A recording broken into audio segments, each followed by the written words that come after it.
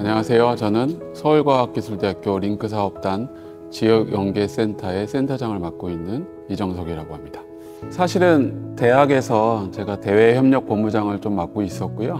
그 업무들이 어쩌면 지금 지역연계센터하고 업무가 유사하다고 볼 수 있겠어요. 왜냐하면 당연하게 저희가 이제 국립대학이기 때문에 국립대학 책무로서 지역사회에 공헌할 수 있는 프로그램을 좀 만들고자 했었고 그러다 보면 아무래도 지자체 뭐 가깝게는 노원구 서울시하고 뭐 기숙사 문제 그다음에 드라이브 스루 때문에 생겼던 학교 개방 문제 학생들의 어떤 그 봉사 활동들 이런 것들을 연계해서 대학의 어떤 인지도 개선과 교육부 연구재단의 어떤 상생 효과들을 어, 조금 더 높이고자 했던 업무였어요. 그러다 보니까 지자체의 어떤 행정적인 요소들, 그다음에 그분들의 생각들, 그리고 대학의 어떤 생각들 그런 것들의 온도차들을 조금 더 저희 대외협력본부에서 완충 역할을 했었고요.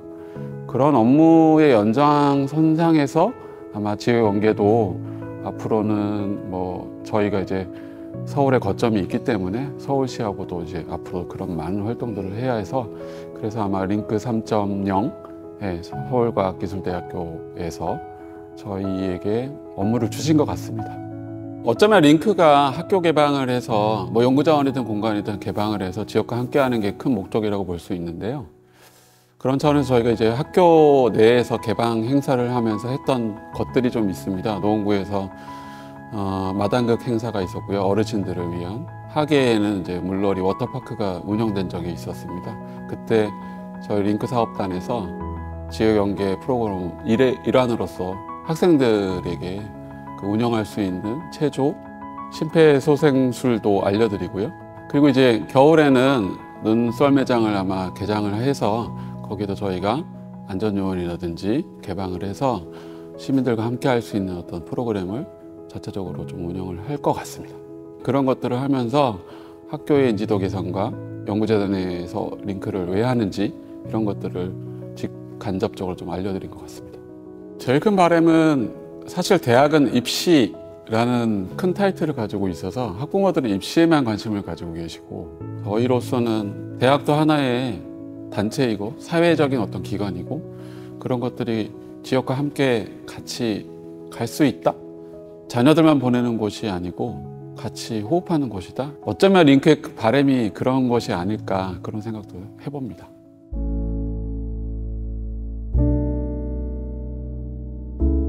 지역 연계를 할 때 제일 중요한 점은 틀린 것과 다른 것을 구별할 줄 알아야 된다고 생각을 해요.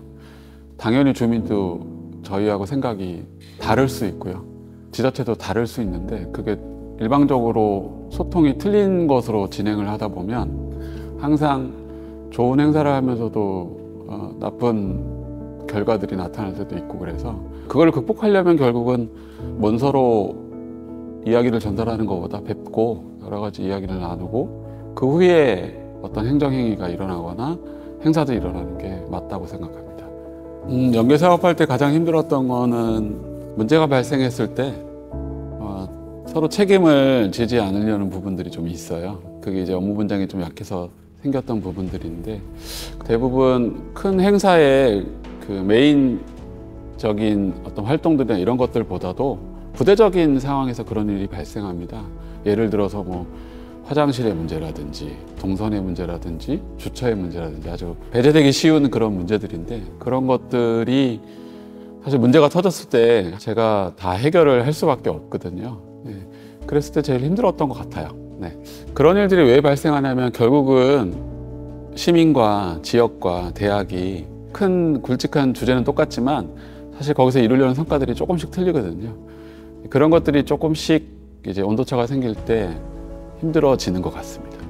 네, 그럼에도 불구하고 여러 가지 물생 그 발생되는 문제들은 저희가 끌어놔야 된다고 생각을 하고 어, 감수해야 된다고 저 생각을 해요. 결국은 실패한 부분들을 가지고 공유하는 게 굉장히 필요한 것 같아요. 이제 행사가 끝나고 나서 보통 이제 딱딱하게 환류 체계라고 좀 얘기를 하는데 어떤 부분에서 실패가 있고 어떤 것들이 요인이 있었는지는 조금 더 파악해 볼 필요가 있거든요. 그래서 행사했던 분들 좀 모시고 조금 더 편안한 모임을 좀 가지는 게 아, 저로서는 다음에 또 이어갈 수도 있고요. 그분한테도 서로 오해도 생기지도 않고 그런 것들이 더 필요한 것 같습니다.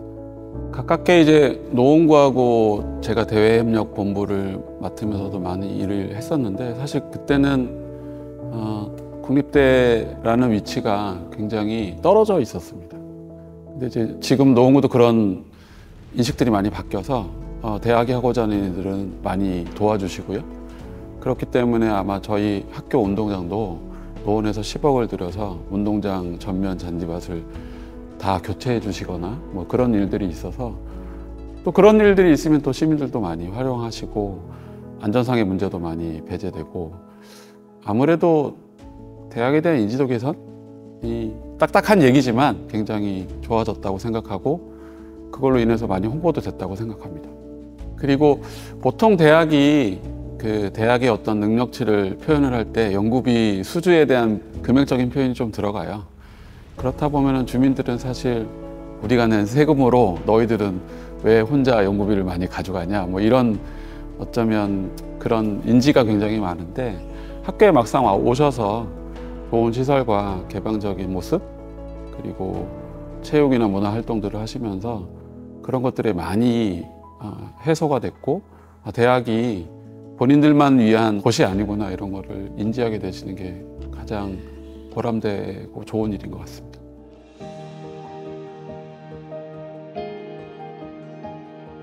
어쩌면 링크 사업 자체가 대학의 강점, 특성화된 부분들을 더 두드려서 지역사회 파급하기도 또 쉬운 사업인 것 같은데요. 어쩌면 처음 주민들과 함께 호흡을 할 때는 어, 일반인들이 좀 알기 쉽고 접근하기 쉬운 분야부터 차츰차츰 열어드리는 게 훨씬 더 지역사회와 호흡하기가 훨씬 더 쉽다고 생각합니다. 그래서 특성화된 부분, 강한 부분도 있지만 쉽게 지역사회와 함께 할 수 있는 부분들을 어, 찾아보시는 것도 하나의 방법일까 싶습니다.